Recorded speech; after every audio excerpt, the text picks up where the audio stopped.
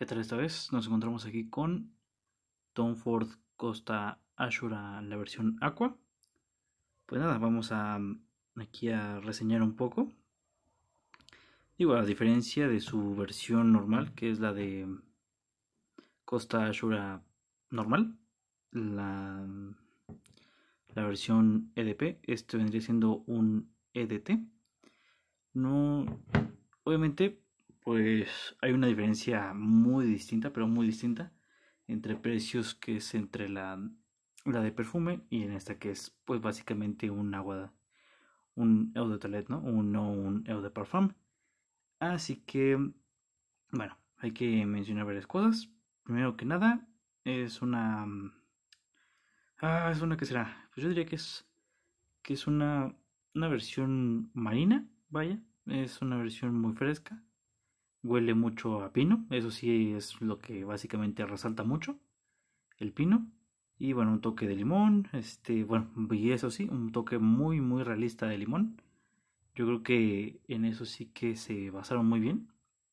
La duración, pues sí está mm, pues muy por debajo de todas las de Tom Ford. Cabe mencionar que, bueno, es una fresca, no, no, no, no hay que esperar tampoco mucho. Digo, si es fresco, si algo es fresco, pues no esperes que dure unas 12 horas, ¿no? Digo, a, a mí, en mi caso, este no proyecta mucho. Eh, digo, ya una vez secada, porque digamos que dura como unas 6, 8 horas. Este, 6, 8 horas en, en seco. Ya, ya, sí, ya seca, vaya. Este, pero proyectar y dejar estela muy muy poquita eso sí no sé un metro de acaso pero de que dure mucho en piel sí que dura mucho en piel o sea acercándote vaya hacia no sé cómo se diga a simple a simple vista vaya pues sí que es mucha la diferencia no tiene pues un, un acabado bastante bonito en el vidrio como un acabado mate este y pues no sé, la hace ver bonita de esa manera, ¿no? Digo, chiquita, de 50 mililitros, como se puede ver. O... Ay, no sé cuántas onzas son, 1.7 onzas. Sí, 1.7 onzas. Bueno, otros puntos a destacar es que, bueno, la diferencia de precio, como ya lo mencioné, es muchísima. Lo que está en 3.500 la versión EDP y esta está en 2.450. Digo, conmigo, igual si la quieren comprar, pues les dejo abajo el link. En el link pues ya estará ahí la...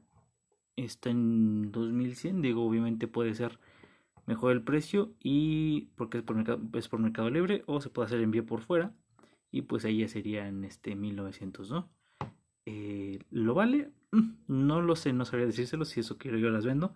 Este, yo diría que sí lo vale, se parece mucho, por lo menos en algunas, a una que otra nota, a Aqua porque tiene igual ese esa naranja, ese melón, ese oh, no sé, ese, ese, esa frescura característica de de de ¿cómo se llama? de acuedillo, pero mm, cabe mencionar que sus notas son las de salida, por lo menos son limón, una limácida, bayas de enebro y mirto. Las de corazón son ciprés, agujas de pino y las notas de fondo son ámbar, resina almaciga y la islándalo. Pero las más resaltantes son el limón, tal vez una mandarina o lima, no sé muy bien qué sea, y el pino. O sea, el pino es lo que, lo que aquí, vamos, parece que le pusieron ahí un pedazo de pino. Pero fuera de eso, pues yo diría que está bastante bien. Y pues bueno, ¿qué más les podría comentar de esta?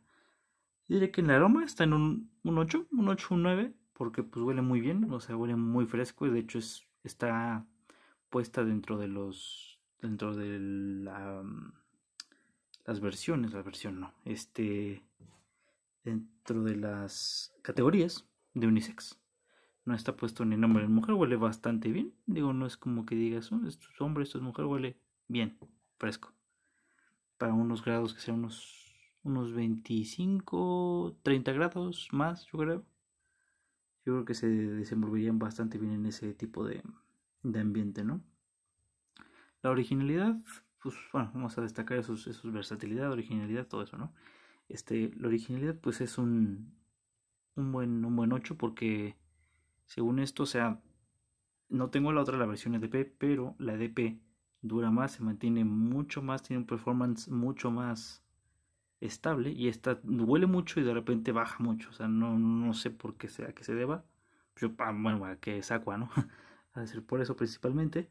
Bueno, para el clima, pues es un verano, ¿no? Eso sí es segurísimo. En ocasiones son salidas en la mañana tarde, así que no, no hay mucho que perderle. Digo, de noche puedes usarla, ¿no? Pero no va a destacar mucho, la verdad. La calidad, la calidad es muy buena, se sienten muy naturales los, los ingredientes, aunque no lo son la mayoría, ¿no? Evidentemente el precio, uff, este, ah, caray, pues yo creo que cuesta, pues sí, un poco más de lo que cuesta una, una común fresca, dura un poquito más que otras, eso sí también hay que notarlo, digo, no es un, no es una Nautica Voyage que dura como, que sean como unos dos horas, cuatro, este sí dura unas 6, 8, así que por lo menos ahí va más o menos. Una estela, yo creo que la estela sí sería un 6-7. Una duración, pues, ah, yo diría que para ser fresca dura bastantito, así que igual un 8. El diseño de la botella, pues igual que todas las de Tom Ford, es bastante bonita. Este es bastante, digamos, simple, pero pero sólida. Este, así que yo diría que como un 9, ¿no? Un 10, porque pues, las botellas son bastante bonitas. Ya la valoración total, pues yo creo que ya sería un un 8, un 8, un 7, 5, 8, ¿no? De 10. Y pues nada. Hasta aquí el video. Nos vemos en el siguiente.